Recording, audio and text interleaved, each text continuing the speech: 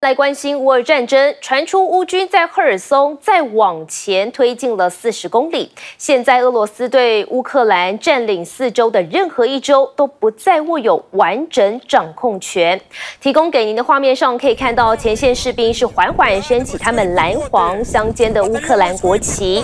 乌军在南部赫尔松夺回更多领土，突破了俄军的防御，一路从战略河流第聂伯河推进，沿途收复了。很多座的村庄创下开战以来最大的突破，而针对乌军快速反攻，俄军也承认在赫尔松一带确实有土地被占领。现在传出俄罗斯西部的军区司令已经被革职，而克里姆林宫也松口，并没有完全掌控这四个区域。